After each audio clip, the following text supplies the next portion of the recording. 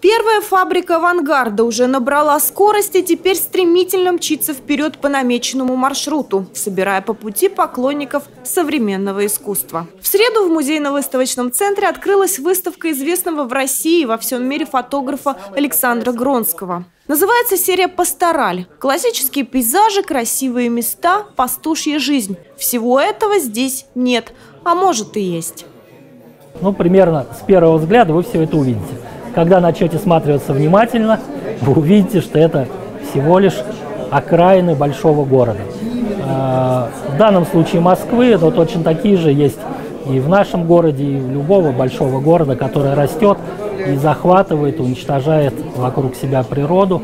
А люди, жители этого города, кто живет на этих окраинах, пытаются как-то устроить свою жизнь на нем, оторвать немножко от природы. Ну, в общем, это серия о нас.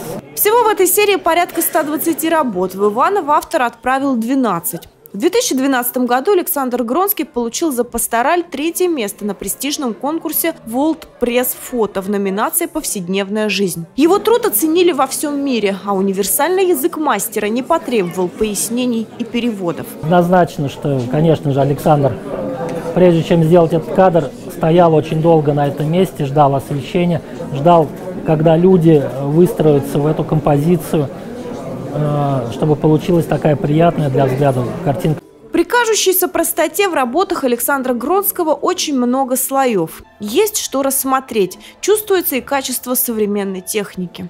Мы можем рассмотреть каждый листочек, мы можем рассмотреть, например, каждое окошечко или, например, э, рябь на воде вот, в одной из работ в озере.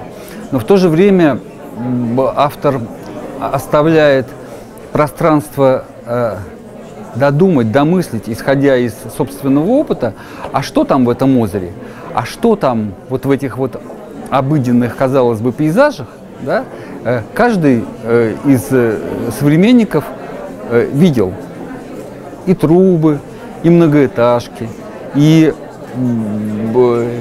зелень, да, вот это вот около домов. Но кто вам сказал, что один вспомнит, что он там видел ежика, а другой э, вспомнит, что там видел э, заржавевший кусочек уголка?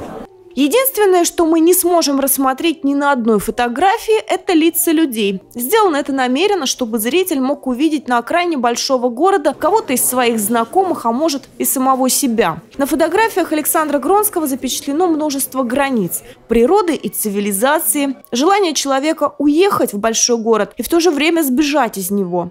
Выставка будет работать в музейно-выставочном центре до 1 октября. Елена Белова, Денис Денисов, РТВ Иваново.